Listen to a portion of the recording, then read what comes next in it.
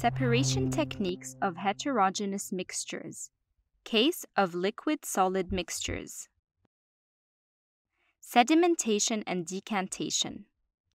Separating a mixture of mud and water. Allow the muddy water to stand for a while. The sand particles settle at the bottom of the beaker. This is called sedimentation.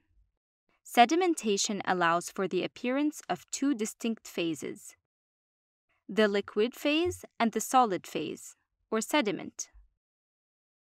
The solid phase is called the sediment. To separate both phases, the liquid is slowly poured into another beaker. This is called decantation. Both phases were separated by decantation. The mixture was separated by sedimentation followed by decantation. Centrifugation. In some cases, sedimentation may take a long time. This is the case of very fine solid particles suspended in a liquid. Centrifugation can be used to accelerate the sedimentation of the solid phase. For example, centrifugation can be used to separate water from extremely fine particles of sand that are suspended in water. Separating a mixture of water and extremely fine particles of sand.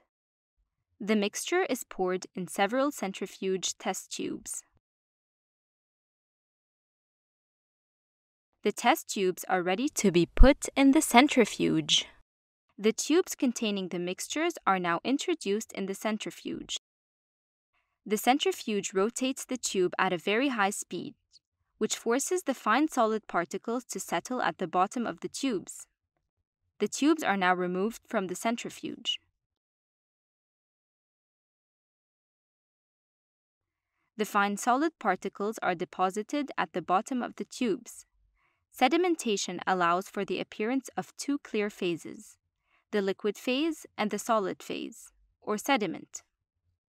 The liquid is ready to be decanted. Decantation.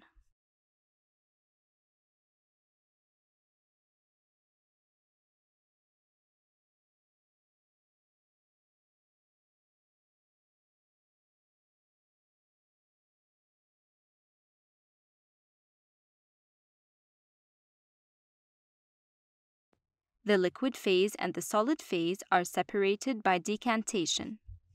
Filtration. Separating orange juice from its pulp. The mixture is poured in another beaker through a filter paper. The solid pulp is retained by the filter paper while the liquid juice passes through it to the other beaker. The solid phase and the liquid phase were separated by filtration. Vacuum filtration. Filtration may be accelerated by creating a difference in pressure on both sides of the filtration funnel, Buchner funnel. This is done by connecting the flask to running water.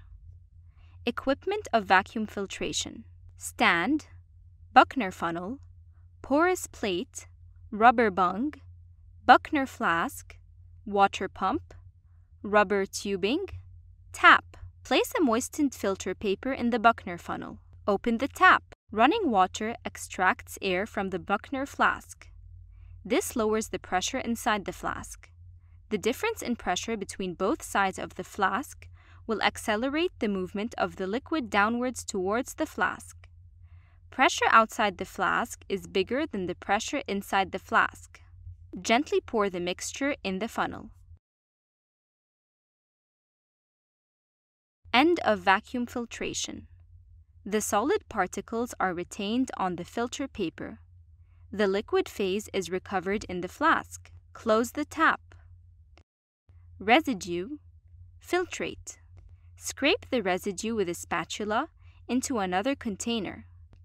End of separation techniques of heterogeneous liquid-solid mixtures.